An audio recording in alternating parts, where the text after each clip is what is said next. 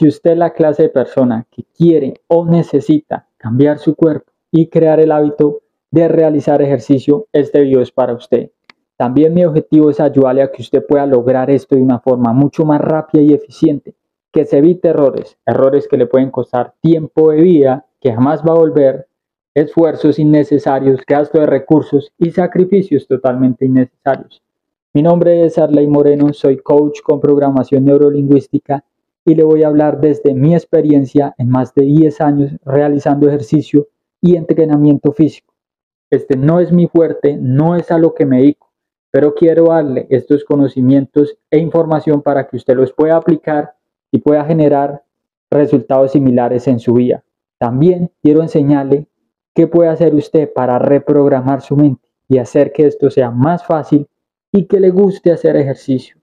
Porque cuando algo nos gusta, es más fácil mantenernos realizando eso durante un periodo muy largo de tiempo. Y de eso se trata esto. Esto no se trata de realizar ejercicio durante unos añitos y ya. Esto se trata de realizar ejercicio durante el resto de su vida, porque eso es lo que el cuerpo requiere. En este video va a ver la forma de mi cuerpo actualmente. Va a ver que mi cuerpo es un poco similar al de los actores de las películas de acción, actores como Sylvester Stallone, Bruce Lee, Jackie Chan, entre otros. Siempre admiré esos cuerpos, siempre admiré esas personas por todo lo que habían logrado y pues siempre quise ser hasta cierto punto similar a ellos, siempre me gustó, así que es algo posible. Ok, entonces el primer paso para que usted pueda lograr esto es entender su situación actual. Entienda mejor su situación actual con las siguientes preguntas que debe responder, porque la claridad es poder. Entre más claridad tenga sobre su estado actual, es mucho mejor. Va a saber qué necesita y cuánto necesita cambiar en usted. La primera pregunta es, ¿cuánto pesa usted en este momento? Segunda, ¿cuántas horas está durmiendo? Tercera, qué tan saludable se está alimentando en este momento, come más de los nutrientes que necesita y eso le está haciendo ganar peso, qué tan sedentario es su estilo de vida, cuántas horas de actividad física hace en promedio cada semana. La actividad física es caminar, lo que haga en su trabajo, hacerlo en su casa, etc. ¿Qué piensa y siente sobre el ejercicio? ¿Cómo ha sido su historia con el ejercicio del 1 al 10? ¿Qué tan agradable? Siendo 10, muy agradable. Ok, esas preguntas le van a ayudar a entender mejor su estado actual. Entienda esto, esto es muy importante. Ningún general va a la guerra sin saber con qué cuenta. Entender su estado actual es con qué cuenta usted en este momento. Nadie se va a casar, nadie se va a proponer construir alguna casa o lo que sea, dijo Jesús, sin saber con qué cuenta. Primero hay que saber con qué cuenta usted, su estado actual. Luego, su estado deseado, qué es lo que usted desea. Antes de continuar, quiero aclararle algo muy importante. Más del 50% de la población estadounidense tiene sobrepeso u obesidad. Entonces, ¿qué significa eso? Yo no creo que una persona de esas con un problema de esos, yo no me imagino que él se levante todos los días y se ponga a pensar, ¿qué puedo hacer para empezar a darle solución a este problema? ¿Qué pasará si no le doy solución a este problema? No creo que él haga eso todos los días.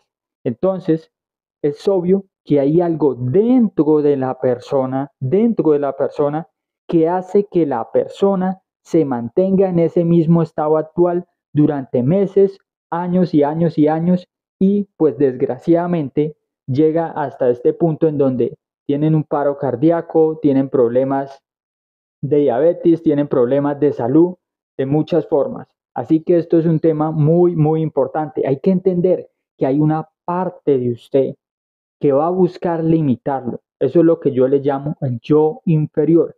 Hay una parte de usted que por evitar tanto esfuerzo, supuestamente, va a hacer que usted se quede limitado, va a hacer que usted ni siquiera responda a las preguntas que le hice anteriormente. Esa parte de usted es la que le va a sugerir, esto no va a funcionar, esto no va a servir, usted no va a ser capaz, esto no funciona para usted. Así que hágase consciente de que hay una parte de usted, al igual que hay una parte de ellos mismos, de esas personas con sobrepeso en Estados Unidos y en todos los países. Hay una parte de nosotros mismos que si no hemos logrado algo, hay una parte de nosotros mismos que busca hacer que nos quedemos ahí para evitar esfuerzos, para evitar críticas tal vez, para evitar un poco ¿no? de cosas. Por eso tenemos límites y los límites son internos. Hay que superar ese límite. Así que déjese guiar, déjese guiar, manténgase en este video que yo le voy a enseñar cómo burlar a ese yo inferior. Si hay algo que motiva y motiva harto es la muerte. ¿Por qué tienen las personas más miedo de hablar en frente a un público que miedo a morirse muchas veces? Por la misma razón, porque está relacionado con la muerte.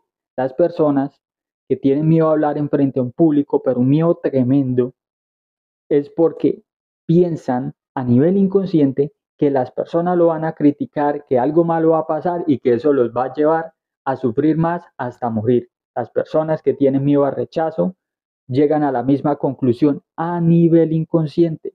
Miedo a la pobreza o miedo al fracaso. Todo está relacionado con la muerte. ¿Qué pasa si fracasa? Bueno, ¿qué daño tendría después de que fracase? Y luego eso lo llevaría a la muerte. Así sucesivamente. Miedo al éxito. ¿Qué pasa si tengo éxito luego algo sucede y arruino las cosas y fallo y luego eso me lleva a enfermarme y luego me muero? Así sucesivamente. Suena algo loco, pero todo está relacionado con la muerte. Porque la mente funciona principalmente de esta forma. Hay que entender esto y es lo que vamos a utilizar porque es la parte más importante para generar motivación ilimitada. Y es la que yo utilicé de forma inconsciente. Yo no sabía esto. Vean, la mente, la parte de su mente, la mente inconsciente, evita el dolor, busca evitar el dolor naturalmente porque incrementa las probabilidades de muerte y busca acercarse a todo lo relacionado con placer porque incrementa las probabilidades de supervivencia. Es por eso, esa es la razón de por qué es más fácil hacer las cosas que nos gustan y evitar hacer las cosas que no nos gustan, porque las que no nos gustan están relacionadas con dolor y el dolor está relacionado con la muerte. El placer está relacionado con vida. Entonces nuestra mente naturalmente va a buscar alejarse de todo lo relacionado con el dolor. Por eso es del inicio le dije que le iba a enseñar cómo hacer que esto le guste. Pero primero le voy a enseñar cómo hacer que su situación actual no le guste, que fue mi situación.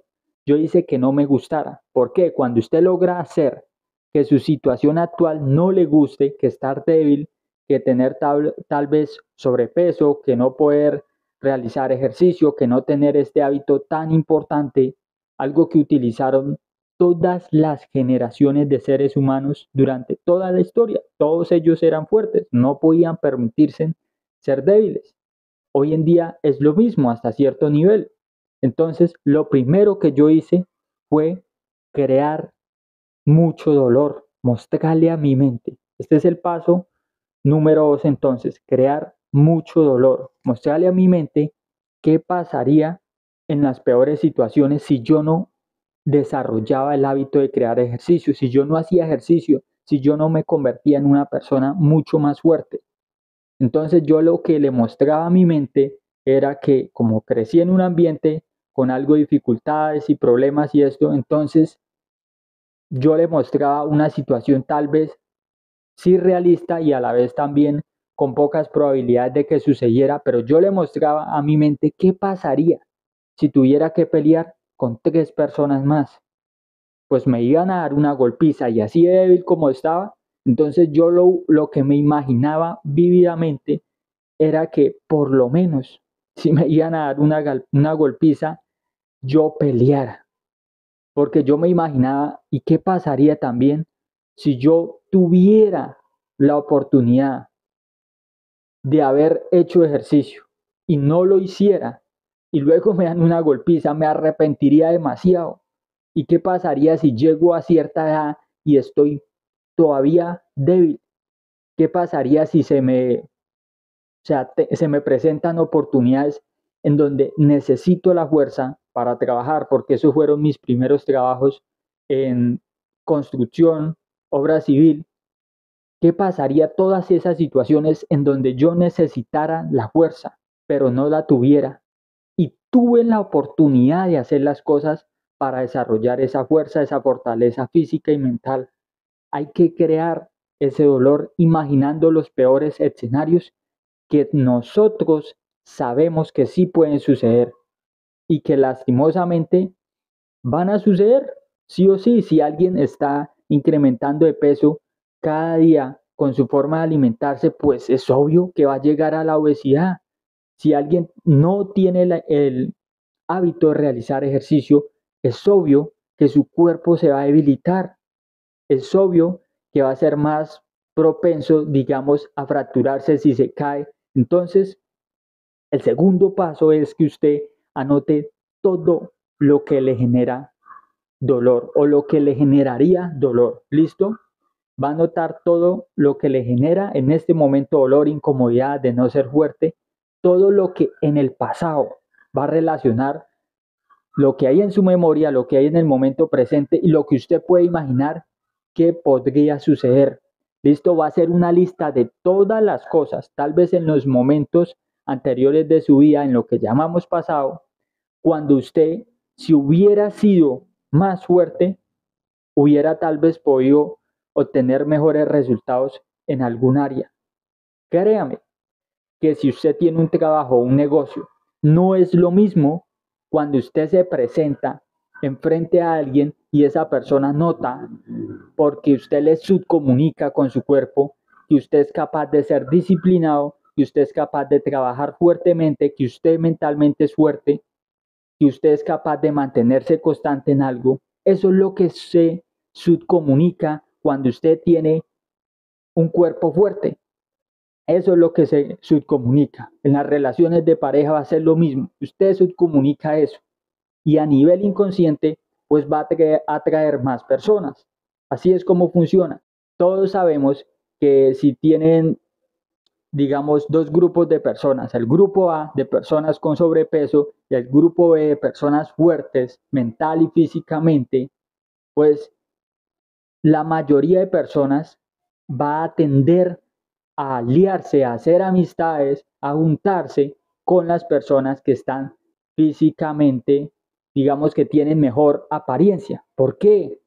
Porque no, o sea, de forma inconsciente no asociamos cosas positivas con el sobrepeso, porque todos sabemos de alguna forma que eso genera dificultades en la vida. Lo siguiente que usted también va a hacer en el paso 2 es imaginar todo eso que usted escribe, todo, o recordar lo que usted vivió. Va a imaginar qué sucedería en esa situación cuando usted se le presenten esas dificultades. Va a imaginar viéndose, oyéndose y tratando de sentir la emoción en la parte más importante.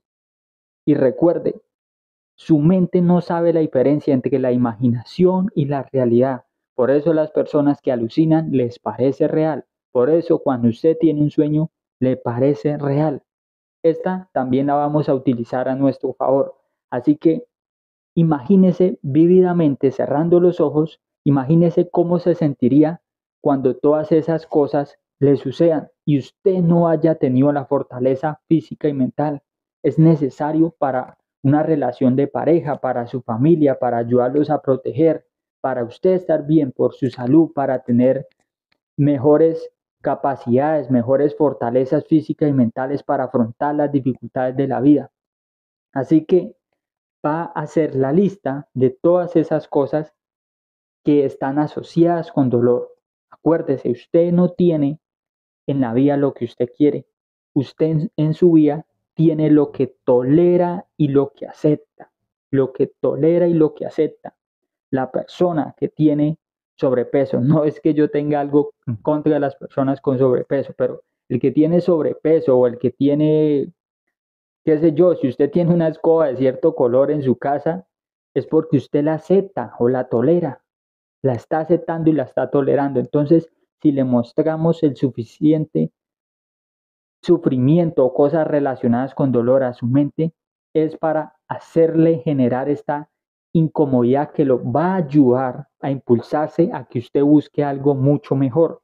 Le voy a mostrar el poder, le voy a hablar, mejor dicho, el poder de la motivación. Cuando la motivación es grande, el cómo es posible.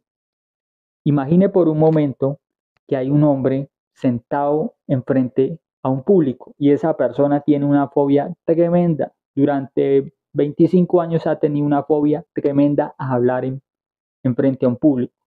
Este hombre está ahí sentado, está escuchando una conferencia que están dando, están presentando y de repente este hombre recibe una llamada, recibe una llamada en la cual le informan que su madre está a punto de morir y que el tipo de sangre que tiene su madre es muy raro. Por lo tanto, si no consiguen un donante de sangre rápido, su madre va a fallecer. ¿Qué cree usted que hará esta persona? Él tiene un miedo gigante a hablar en frente al público. Pero por otra parte, su madre está a punto de morir. ¿Qué cree que hará esta persona? ¿Qué haría usted? ¿Se pararía enfrente de ese público y le pediría yo a alguna de esas personas? Y hay miles de personas enfrente en, en ese público. ¿Qué haría usted? ¿Qué hace esta persona? Se para sin dudarlo, se para enfrente del público, pide ayuda a todas estas personas hasta conseguir a alguien que tenía ese mismo tipo de sangre.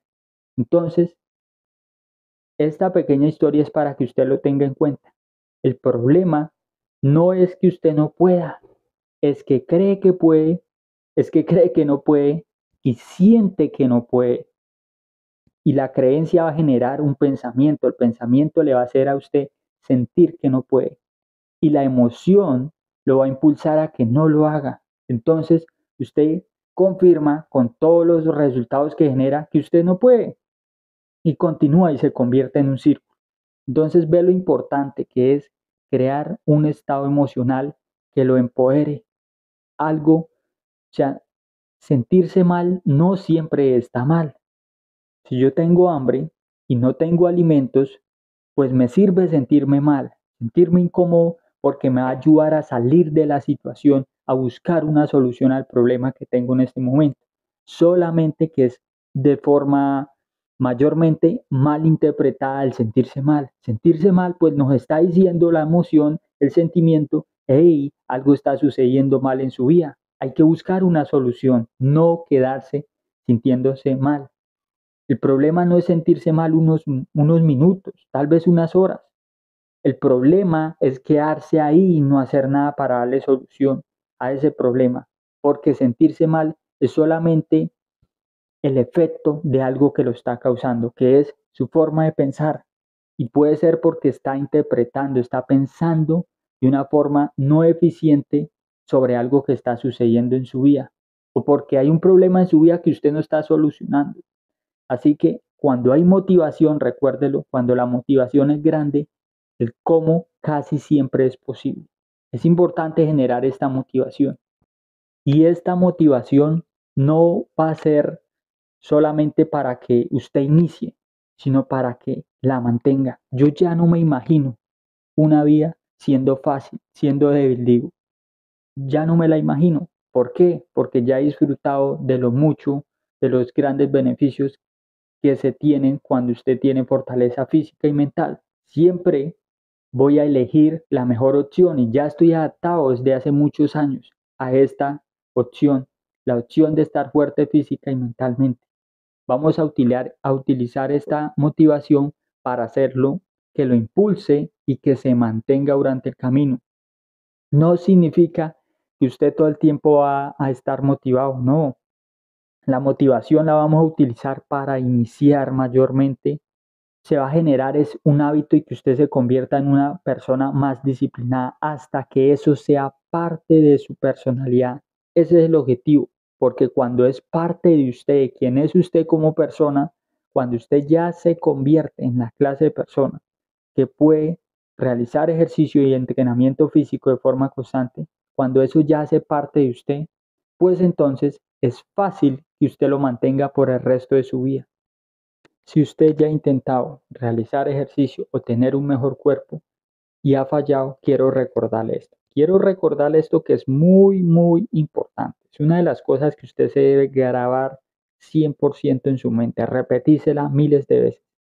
Mire, si usted cree que no puede, eso es una creencia. Las creencias no son realidad. Las creencias no son realidad. ¿Por qué? Usted no lo ha intentado todo. Usted no lo ha intentado. Así que usted tampoco es adivino. Usted no sabe si sí va a poder o no va a poder. Usted no lo ha intentado todo. Si usted cree que no puede, eso es una creencia. Esa creencia le hace que genere más pensamientos relacionados con esa creencia. Luego esos pensamientos le crean la emoción. Luego esa emoción lo impulsa a que usted no haga eso y usted no hace eso y se genera ese resultado, pues que usted se queda ahí sin generar este hábito de realizar ejercicio, sin cambiar su cuerpo, tal vez su forma de alimentarse también. Ve como una creencia no es la realidad. ¿Listo? Una creencia existe en su mente respecto a algo de la realidad, pero no significa que esté describiendo la realidad. Otro punto importante es este. Usted como ser humano, usted como ser humano, es el top, top, top de la evolución. Su mente es la computadora más poderosa del mundo. Su cuerpo es la máquina más compleja del mundo. Así que tiene dos grandes herramientas. Millones y millones y millones y millones de seres humanos han logrado esto. Usted también puede usted tiene la computadora más poderosa del mundo, usted no puede negar y demostrar que no es de esa forma. Todos los grandes genios, todo el mundo sabe que es así, o sea, las personas que son expertos, quienes logran cualquier cosa, usted mismo también lo experimenta, debido que usted no puede lograr nada en su vida que no tenga nada que ver con su mente. Todo está relacionado con su mente. Usted piensa, usted se pregunta, usted niega, todo tiene que ver con su mente la forma en que usted utiliza su mente y su cuerpo determina qué también va a ser su experiencia de vida y qué tanto va a lograr usted en su vida, cómo va a ser, qué va a ser, qué, qué va a tener. Así que es su mente. Usted es un ser humano maravilloso. ¿Listo? Si usted escucha que alguien como yo le dice que usted es un ser humano maravilloso y usted no cree o por lo menos no se está diciendo, obvio, yo sé que es así, yo sé que es así. Porque si alguien tiene un iPhone o cualquier celular de alta gama y yo tengo el mismo celular y le digo, hey, ¿sabe qué? Este celular es una maravilla. Esa persona, ¿qué va a decir al tener el celular? Obvio, obvio, por algo yo también lo tengo. Entonces, cuando yo le digo a usted que usted es un ser humano maravilloso, debe ser obvio para usted. Es obvio, es obvio que es así. ¿Qué más puede ser? Un humano maravilloso. ¿Sabe qué es lo que pasa? Que confundimos ser un ser humano maravilloso porque tenemos la computadora más poderosa del mundo, cuerpo, la máquina más compleja del mundo. Confundimos eso con tener una personalidad maravillosa. ¿Listo? Usted no es su personalidad. Usted no es la misma clase de persona que era hace cinco años, ni la misma clase de persona que era hace diez años ni la misma clase de persona que será dentro de 10 años. Usted no es su personalidad. Usted es un ser humano que tiene una personalidad. Se lo repito, usted es un ser humano que tiene una personalidad. Su personalidad es una creación mental. Si usted hubiera crecido en otro país, ¿usted hablaría la misma lengua que habla en este momento? Probablemente no, tendría la misma personalidad, tendría los mismos conocimientos, las mismas experiencias, las mismas creencias, la misma cultura. No, sería diferente. Es nuestro entorno y nuestra historia de vida lo que hace que la personalidad se forme. La personalidad que todos tenemos es una creación, una acumulación de nuestra historia de vida, de todo lo que hemos aprendido, de nuestras creencias, de lo que nos dijeron que somos, que íbamos a ser, o tal vez de los límites que usted ya rompió y que usted estableció nuevas creencias o nuevas formas de percibir la realidad. El punto más importante es que usted no es su personalidad. Usted tiene una personalidad, tiene una mente y tiene un cuerpo. Su mente es la que acumula toda esta información sobre su personalidad. Eso lo vemos en una persona que tiene Alzheimer. Él olvida quién era, pero sigue siendo un ser humano maravilloso. Por eso, todo ser humano tiene un potencial, lo puede utilizar de forma, digamos, para hacer el mal o para hacer el bien, que es lo que comúnmente conocemos, para hacer cosas que no funcionan en pro de la humanidad o para hacer cosas que sí funcionan en pro de la, de la humanidad y de sí mismo. ¿Listo? Así que usted no es su personalidad. Puede negar y demostrar usted que usted no es su personalidad. Usted tiene una personalidad que se construyó a través de toda la historia de su vida. Créame que eso me voy a hacer un video después. ¿Por qué? Me costó más de 11 años descubrir que eso era así. Y tal vez, tal vez, eso ha sido un gran descubrimiento para usted en este momento. Usted no es su personalidad. ¿Cuál es la gran oportunidad ahí?